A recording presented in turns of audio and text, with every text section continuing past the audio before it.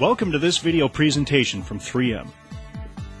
In the next few minutes we'll show you just how simple it is to get a top quality paint finish while minimizing the costs associated with your paint finishing process. Thanks to the all new perfected paint finishing system from 3M. Now, more than ever, the quality of your paint job is affected by technical changes in the paint industry itself, particularly with regard to high solids low VOC paints. These new paints can be harder and more difficult to work with than traditional paints. This is especially true if you're using outdated paint finishing products. When used properly, the perfected paint finishing system can help you save time and avoid some of the most common paint finishing pitfalls. Let's take a detailed look at the 3M perfected paint finishing system and learn some helpful tips for using it properly. The system has everything you need for sanding, scratch refinement, compounding, machine polishing, and swirl elimination. For the first step, sanding, 3M is pleased to introduce its most recent innovation in abrasive technology with the all-new 3M Trizact Clear Coat Sanding Disc in grade P1500. This disc is designed to be used damp on a dual-action sander, which can be two to three times faster than wet sanding by hand. The small amount of water required to dampen the disc helps eliminate dust and the curlicues or pigtails that sometimes result from dry sanding with the DA sander. An additional benefit of sanding damp is that you can use a DA sander with a large orbit, and a large orbit means you can get the job done faster. Let's take a look at what we mean by the term orbit. All dual action sanders move up and down as they rotate. Some finishing DAs will have a very small orbit and may move up and down as little as 3 seconds of an inch during use. Other bodyman type DAs will have a very large orbit, with up to 9 16ths of an inch movement. In general, the larger the orbit, the more aggressive the tool is. Traditionally, color sanding with the DA was limited to smaller orbit tools. This is because large orbit tools would cause the sandpaper to clog and create deep curlicue scratches, or pigtails. But, since the new Trizact Clear Coat sanding disc runs damp, you can use an aggressive tool to get the job done faster, without the risk of deep curlicue scratches. Use the Trizact Clear Coat sanding disc for your first step in the paint finishing process. It does a great job of helping you to minimize dust nibs and match the texture of adjacent panels. Here's a tip to help you get the best possible results during the sanding steps. Whenever possible, use a soft interface pad with your abrasive disc. The soft interface pad helps you get a finer finish from your abrasive, and it makes the disc more responsive and easier to use on curved surfaces.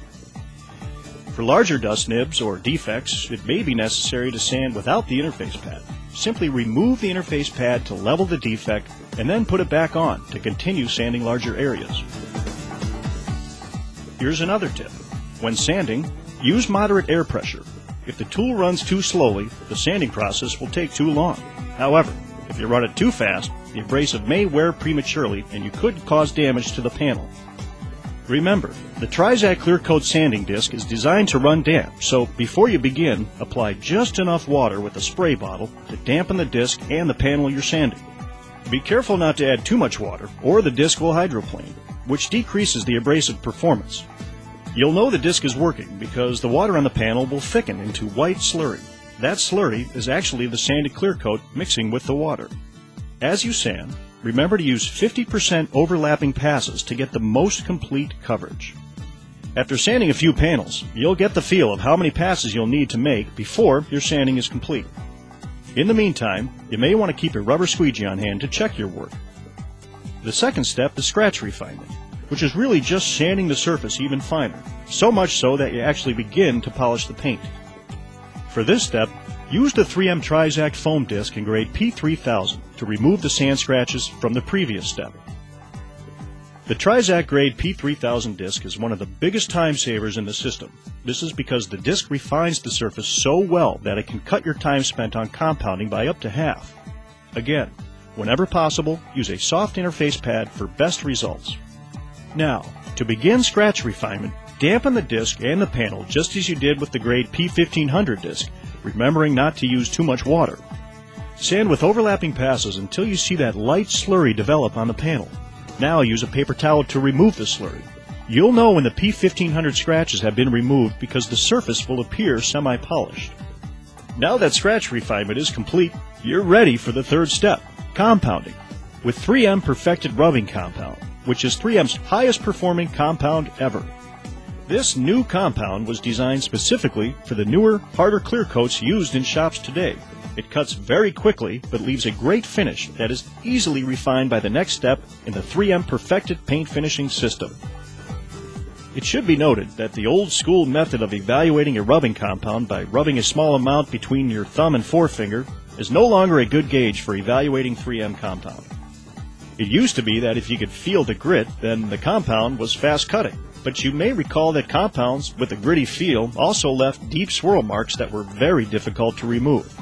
The new 3M Perfected Rubbing Compound achieves a fast cut with an innovative combination of mineral and chemical technology. So it's fast, but it's not gritty, and that means shallower swirl marks that are much easier to remove later. Before you begin compounding, equip your buffer with either a 3M wool compounding pad or a 3M foam compounding pad, depending on your preference.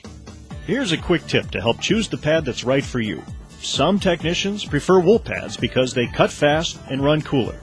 Other technicians prefer foam pads because they do not lint and finish finer. Either choice will effectively remove the sand scratches and give you professional results every time. Now, Apply a small amount of compound to the surface. Compound with medium pressure at 1200 to 2000 RPM with 50% overlapping passes to remove the sand scratches from the previous step. When the sand scratches have been removed, use light pressure and work the residual compound back up into the pad. Now, use a paper towel or cloth to remove any remaining compound residue. After compounding, the sand scratches should be gone and the surface should appear glossy.